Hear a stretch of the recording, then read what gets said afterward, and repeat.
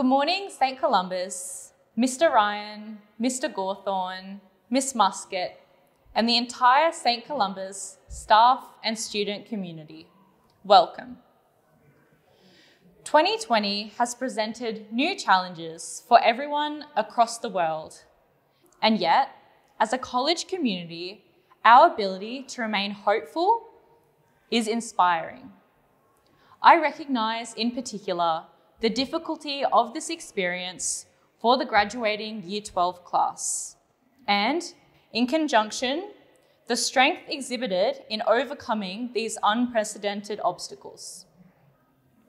The leadership qualities of faith in God and our joint dedication to the college has provided the means for surmounting the mightiest of obstacles.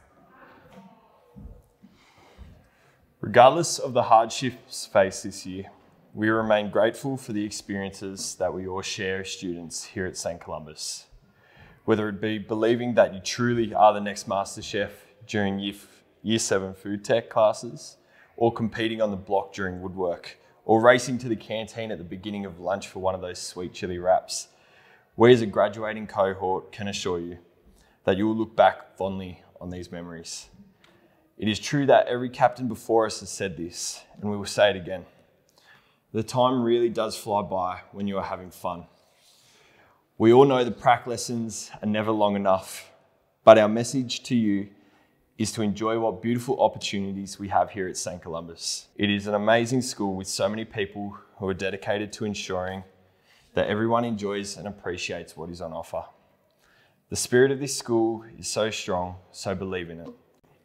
Continue to strengthen this core part of our college by dressing up on the costume days, baking a cake for the cake store, attending the sports and swimming carnivals, trying your hardest in every lesson, and always singing the school song. As these are the things that one day will be the fondest memories of your high school experience. To the staff at St. Columba's, for the love and support that has been given day in and day out we would like to say thank you. Thank you for lending us all your wisdom and knowledge and showing us that we can achieve anything as long as we put in the miles. To Mr. Ryan, we are your first year that you have led straight from year 7 to 12 at St. Columba's, and we are so grateful. You, along with Mr. Gawthorne and Miss Muscat, have allowed our year to have the structure and security within the college that we needed to flourish and thrive, giving us leadership opportunities to be independent young men and women. Thank you to our numerous leaders of mission over the past six years. Your guidance and understanding as we achieved all of our milestones is the glue that holds our cohort together. Mr. Gillespie, your unfaltering persistence to push us to exceed our goals and do our absolute best is something we will forever remember you by. Miss Mulhall and Miss Pranjic, the mothers of our year, thank you for always knowing how to inspire us. Your honesty and genuinity is something held so dear by our year. You always know what to say, and your ability to hold us together throughout all kinds of adversity an, is an absolute skill and something so treasured by the graduating class of 2020.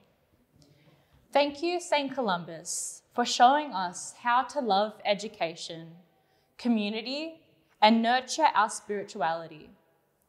Seeing the enthusiasm of younger years has given us the inspiration to move forward and the courage that St. Columba's is undoubtedly our home and a place that will never be forgotten.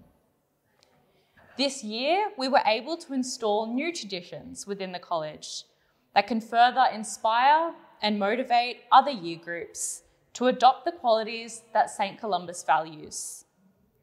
The house badge ceremony is a new opportunity for all students to come together to take pride in their individual and communal strengths and to be reminded of our house values of courage, mercy, hope, liberty, service, and compassion. On behalf of the graduating class of 2020, we would like to share you one little piece of advice. You have the world at your feet. May you live every day to the fullest. Find what you love and love it dearly.